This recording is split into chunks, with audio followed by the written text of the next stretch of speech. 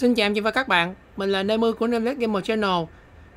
Và như ờ, chuyên mục ờ, phân tích và dự đoán chúng ta lại gặp nhau ờ, vào ngày thứ hai của sự kiện Thì trước hết mình muốn nói một người với mọi người là mọi người phải thật bình tĩnh Để nghe một cái tin có nghĩa là mình dự đoán là một chuyện nhưng mà game nó không cho mình thắng là một chuyện kiểu như mà khi mà mọi người viết uh, lập trình cũng vậy viết lập trình ra một cái câu lệnh một dòng lệnh để chạy một cái uh, một cái chuỗi hành động nào đó thì bạn viết đúng là một chuyện nhưng mà cái lúc mà lập trình xong rồi nó có chạy đúng hay không là một chuyện. Mình hay tự hào nói là mình là người đọc lệnh của game này nhưng mà thật ra là trong cái uh, cái sự kiện này thì mình toàn xịt thôi ngày hôm qua là mình thua tới con mẹ nó bốn trận luôn chỉ thắng được một trận và trận này hơn nó được ít hai. Vì chúng ta sẽ cùng ờ, xem xét những cái kèo này tại sao lại có thể hư cấu như vậy. Kèo đầu tiên thì là à, team Tam Thiên Vương đấu với lại team Tam Đại Thần Khí. Thì mình nghĩ là team ờ, team xanh có thể thắng nhiều hơn là do con ờ, con thổ này á. Nếu như mà nó may mắn mà sống sót được và không bị câm lặng thì nó nó tuyệt kỹ xong sẽ khá là trâu. Sơ mi thì có giảm công và triết thì sẽ có thiêu hồn. À, team này thì chỉ có Iori à team này sẽ có ba nộ do Iori và kia do, do Iori và Jiru sẽ sẽ tuyệt kỹ trước thì gần như sẽ giết được mấy con choi này và khả năng cao là Kyo sẽ có nộ luôn. Nhưng mà mình đang không hiểu là sao bị giảm công rồi nhưng mà lại vẫn thua ngày hôm qua chúng ta thua một kèo khá là biệt đó chính là Leona này một mình Leona cân. Đồng ý Leona này là tư chất 14 nhưng mà quan trọng là team Tam Thiên Vương là không cân nổi. Rồi chúng ta sẽ cùng xem cái uh, diễn biến của cái trận đấu đầu tiên này.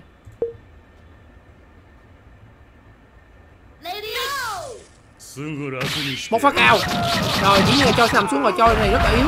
Rồi kêu khả năng cao sẽ có nộ rồi. Không câm lặng ai. À câm lặng của tuyết rồi Ôi ôi, thổi chưa bút được thiên cho nên là anh khá là yếu. Rồi, sơ mi. Thổ đã bị phong ấn nội trong một lượt rồi. Đạp cho Kyo nhưng mà không hề có một tí đam nào cả.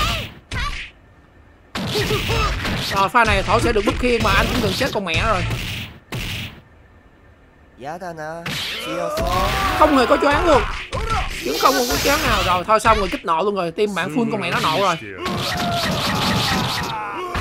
pha bát chuyền lượng cào cấu cực kỳ mang thương hiệu của Yuri một cái dấu thực rồi thổ sẽ nằm xuống trong khi Triết chưa làm được cái mẹ gì hết. Nghe có mùi là Yuri sẽ đập chiêu choáng đây. Ui giời không có choáng nhưng mà quan trọng nó muộn rồi. Đúng rồi cái chiêu trúng đó rồi. Một hàng một đẩy nhưng mà chưa chết. Yuri vẫn còn sống lại tiếp tục một chiêu phong ấn nữa. Ôi trời ơi đậu xanh nữa bảo sao mà không thua. Dùng đám với một con đi rồi lại tiếp tục một pha vô thức nữa của Kyo Rồi Nghi pha này sẽ choáng nè. À không choáng hả? Trời ơi đúng rồi. Ôi chiến mạng thì cao nhưng quan trọng là Sát thương độc chiêu không có bên đây là độc chiêu. Rồi Pha này sẽ kết thúc bằng một pha vô thức của Kyo. Musiki. Rồi thấy là Tam Đại Thiên Vương đã ra đi để dưới tay của uh, team uh, Tam Thần Khí. Vậy trận đấu uh, thứ nhất đã kết thúc khá là nhanh chóng Chỉ với 8 lượt thôi. Rồi chúng ta sẽ bước đầu bắt đầu qua qua cái kèo thứ hai.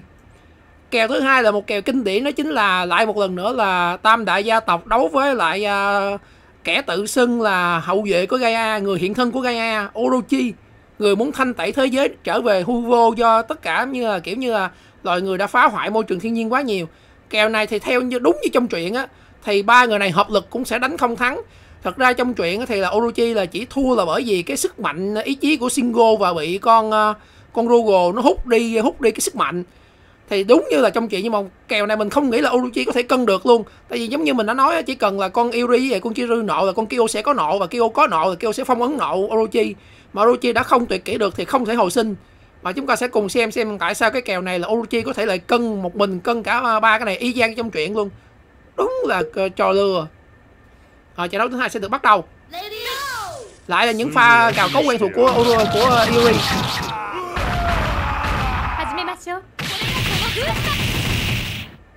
đó câm vừa câm lặng rồi vừa bị phong ấn ngộ luôn nhưng mà Orochi vẫn sống một mình cân cả thế giới.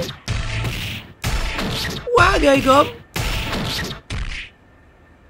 Người tự xưng là thần ở trong cái game này thì Orochi là con duy nhất của tư chất 14 khi mà các bạn mà nâng lên bắt môn nó sẽ thành là tư chất uh, 15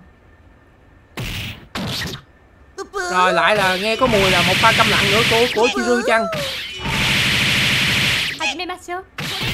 Có câm lặng hay không? Không câm lặng và Orochi lại cân được.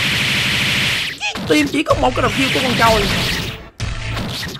Rồi pha này đừng nói là choáng choáng hết bốn năm con nha ôi ôi ôi ôi ôi phải nổi đâu không Ô, vậy mà à khả năng cao là Orochi hồi sinh rồi. Orochi hồi sinh rồi. À, ờ Orochi hồi sinh. Rồi. Ôi. Ôi choáng ôi ôi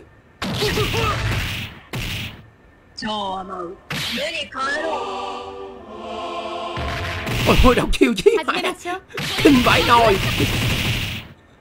Choáng đó choáng à, câm lặng có câm lặng mà. Ôi trời ơi. Đúng là thần có khác. Đúng là người người tự xưng mình là thần.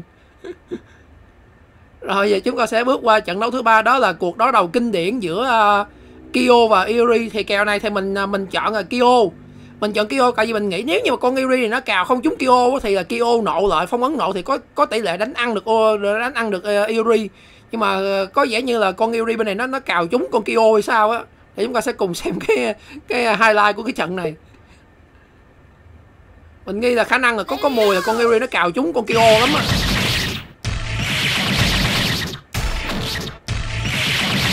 Ồ dám lắm mà. Ôi trời ơi. Không phải trời. Mẹ nó cao thì thôi còn cào chí mạng nữa.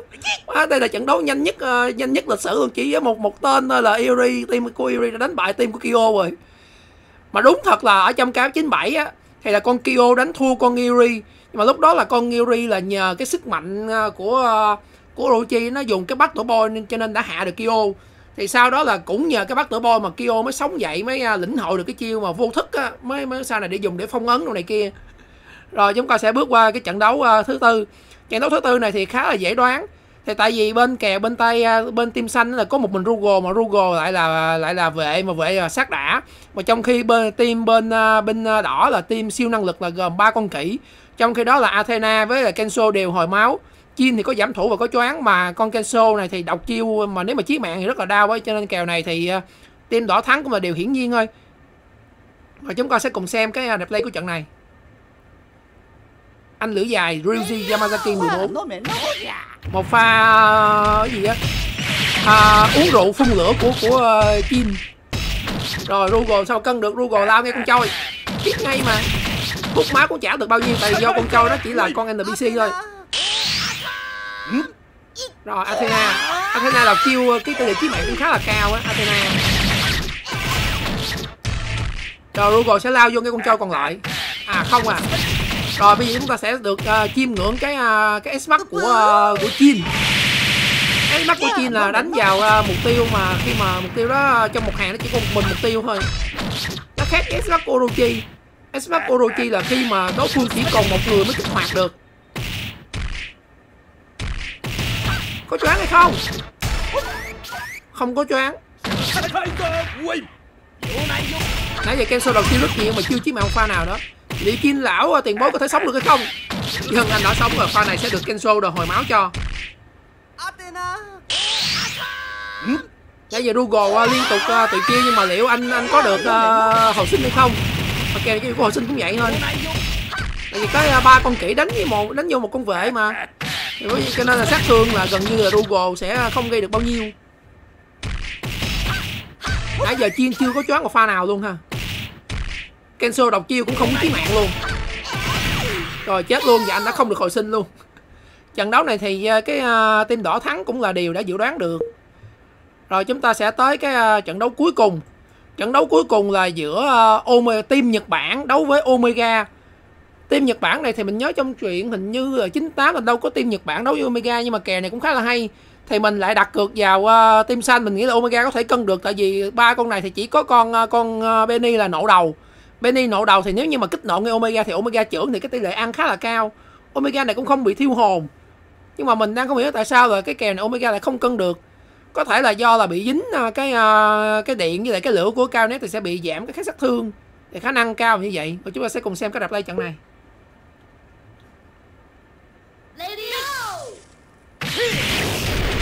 Vậy chưa có được hồi phun nổ không?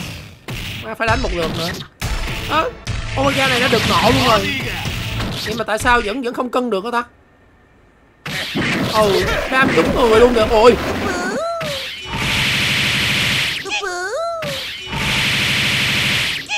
Rồi Omega không thể một mình cân cả thế giới. Ồ Benny lại nổ tiếng đậu xanh. Ôi sao tự nhiên con con. Sao tự nhiên con con Benny? Ôi. Tự nhiên con Benny nó bị mất ngộ kìa. Rồi xong rồi. Một pha là à, quẩy hip hop của Benny. Rồi Omega nằm. Ờ Omega trong này đúng là không thấy một cân được Nó quá yếu. Không có hút máu luôn do bị cái phản à, phản điện của cô Benny. Một pha body gà là, là của Kyo là con Omega đã nằm xuống rồi vậy là chúng ta đã kết thúc ờ, cái kèo ngày hôm qua với ờ, cái tỷ lệ dự đoán của mình là ờ, 1 phần 5 thua sắp mặt luôn. Nó thật thì mình không mê cá cược nhưng mà mình chơi cá cược trong game này chỉ vì đam mê và bổn phận thôi. Với lại tại vì quà nó quá ngon mà cá cược chỉ bằng vàng thôi thì mình khuyến khích mọi người mình không khuyến khích là chơi cờ bạc thật ngoài đời nhưng mà à, cờ bạc à, cá cược trong game này thì là nên chơi. Rồi thì video mình à, tới đây là kết thúc. Nếu mọi người thấy hay vụ ích thì để lại một comment một like share và một đăng ký kênh để ủng hộ mình hẹn gặp lại mọi người ở các video tiếp theo. Thank you for watching. See you next time.